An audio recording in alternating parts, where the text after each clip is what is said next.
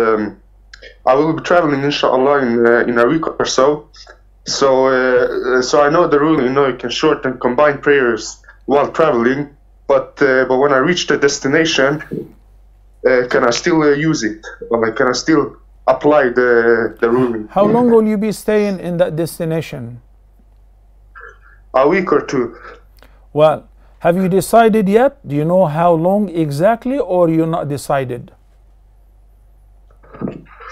Well, I will be. Uh, I, I mean, I, I will be. I will be in. A, I will be in. I will be in an apartment with my father. I will be staying there for a week or two. Again, it's it- his. Uh, Again- it's his uh, residency. I know. Again, it doesn't matter where will you be residing in a hotel room or in somebody's house, or even if you have a condo there. It's about how many days uh, are you planning to stay.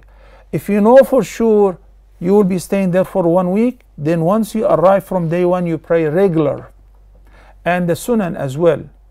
But I'm going to visit my father, and I'm not really sure how long would it take me uh, to finish his business or to hang around with them.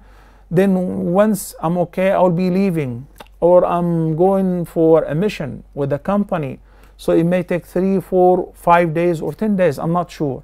If you're not sure, then so long as you're staying, you shorten and you may combine the prayer.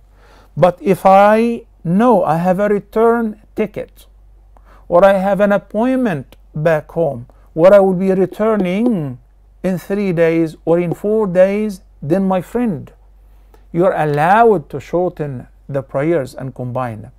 But uh, my return ticket is actually in two weeks. I know that I will be staying for two weeks. Then in this case, from day one, you pray regular. Barakallah fik, Amen.